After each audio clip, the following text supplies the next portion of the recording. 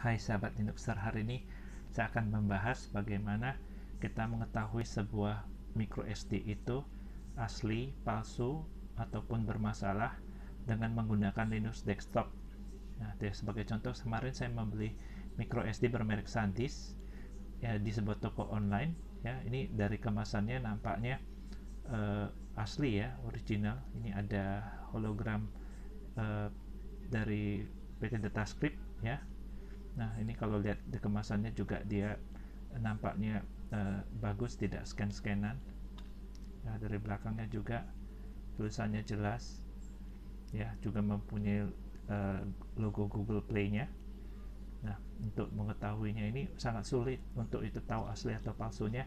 Cuma bisa diketahuinya hanya dari uh, aplikasi dan kita akan menggunakan aplikasi Genome Disk untuk mengetahui uh, kemampuan dari uh, micro SD ini.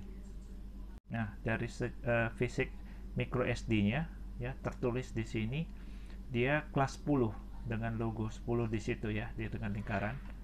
Nah, um, untuk mengujinya kita perlu pakai card reader, card reader yang sebaiknya yang uh, USB 3. USB 3 itu ujungnya berwarna biru dia.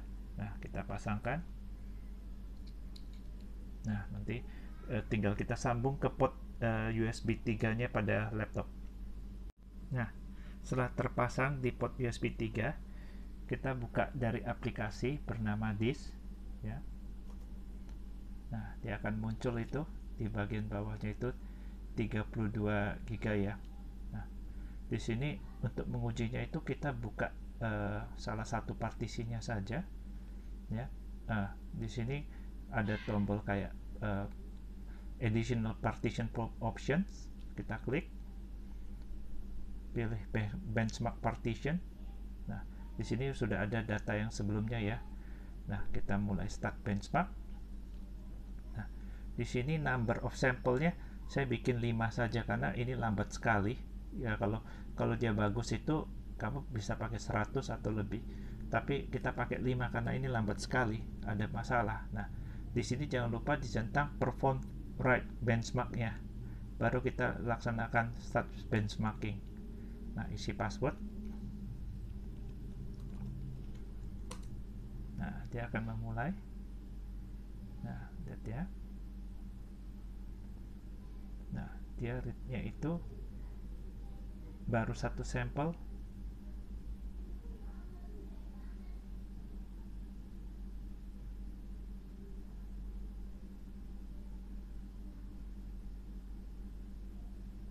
ya sangat lambat ya.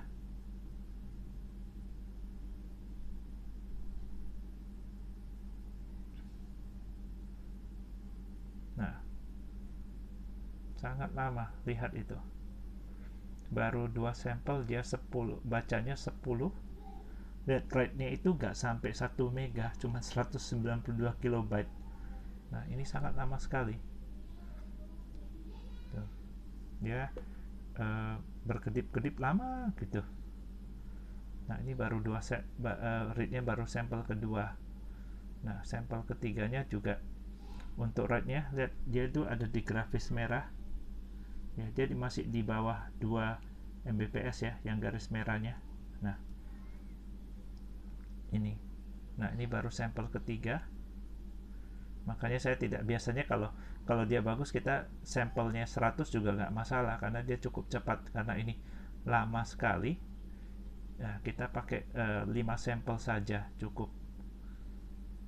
Nah. Dan ini masih 4 sampel write-nya nah sudah selesai.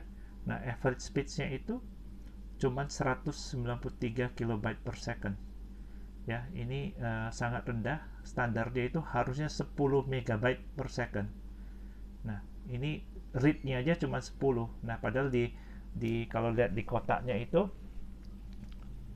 tertulis read-nya up to 100 biasanya kalau up to 100 itu angkanya itu mendekatin di 100 ya. Dia harusnya di atas atas gitu. Ini cuma 10 nah jadi dari sini kita sudah tahu bahwa ini uh, produk ini bermasalah dan kemungkinan ini palsu. Sekian uh, videonya, terima kasih.